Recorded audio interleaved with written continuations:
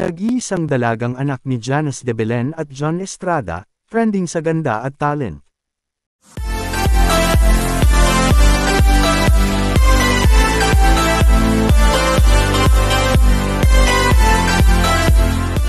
Kahit pa sa kasalukuyan ay hiwalay na ang dalawang magagaling na aktor na sina Janice de Belen at John Estrada hindi naman maitatanggi na minsan silang nagmahalan at nagbunga nga ito ng napakagandang anghel na ay Ina de Belen ang nag-iisang nilang anak.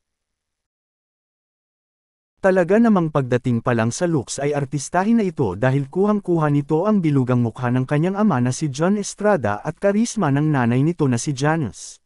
Sa kasalukuyan ay magkasintahan sila ng kapuso aktor na si Jake Vargas ng matagal na panahon na, at bagay na hindi naman itinago ng dalaga sa kaniyang mga magulang.